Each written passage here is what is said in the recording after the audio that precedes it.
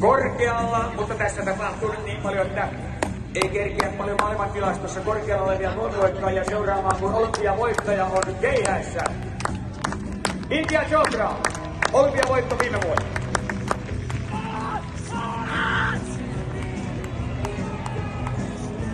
Ja kansa kohisee! Chopra vetää